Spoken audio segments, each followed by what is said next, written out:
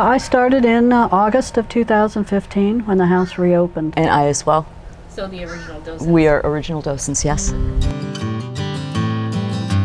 I was retired. Uh, I enjoy talking about uh, Jupiter history. I've lived in this area since 1967. I knew the Du Bois family, uh, and I felt like it would be very interesting to learn more and be able to impart that to uh, visitors to the house. Uh, when I saw the advertisement for the Du Bois house uh, looking for docents, I said, why not? And uh, it's very close to my house, and um, I, get, I just got hooked.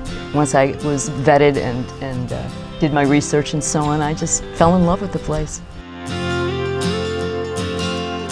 We lead tours, we show them the house, we talk about the shell mound that the house uh, stands on, we talk about the Jeaga Indians who created the shell mound, why they created it, what happened to them.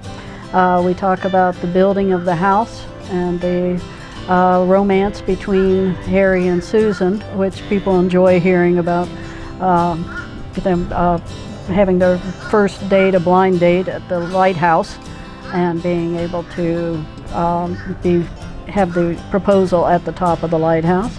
And uh, just things like that, uh, little things that we've learned from our studies uh, to give them a, a feeling of what life was really like.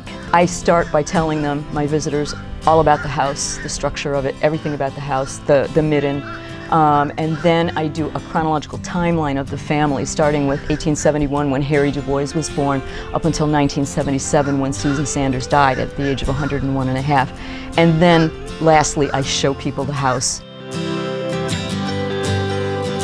It's very important because you, you figure that the, the Du Boises were among the original settlers of, of Jupiter, the original pioneers here, and, and, the, and the history is just fascinating. Just their life is, is uh, the history of their life is a reflection of, of all the other uh, pioneers that, that settled here, the Carlins and uh, all the others, and um, it's, it's the heart of what created Jupiter.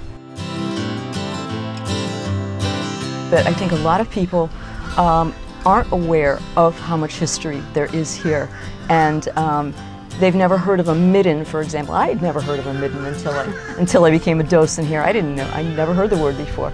But um, you know, people find those things very interesting and, and they, they, they do take away a lot from our tours. They really do. They really do. I'm surprised how many people come and say, I've lived in Jupiter all my life and I've never seen the lighthouse, I've never been in the Du Bois house.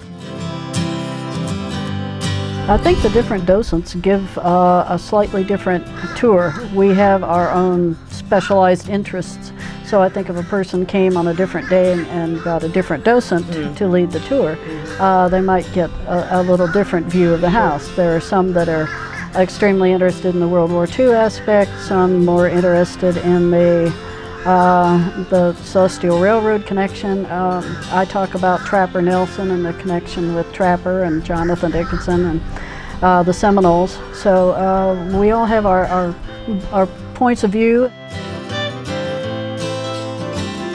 The reaction of the visitors. Absolutely. That's what it's all about, is getting, getting the reactions from, the, from your, your visitors. That's what makes it all so great. So I love to talk about the things in the kitchen. Uh, the 1927 GE monitor top refrigerator and talk about uh, how that was picked up from a woman who sold it back in two, maybe 2010 and she was still using it. So how long things used to last. And then I talk about the telephone on the wall from the 1930s and explain this, the, uh, the system of ringing the operator and the party line, and especially when kids come in. And they ask questions like, well, where did they take their shower? Uh, how did she, where was the hospital that she had her babies in? And said, there was no hospital where you had babies in, you had babies at home and there was no shower. There was a big copper tub you'd pull out in the kitchen, heat water on the stove. And so it's a different world, especially for the kids.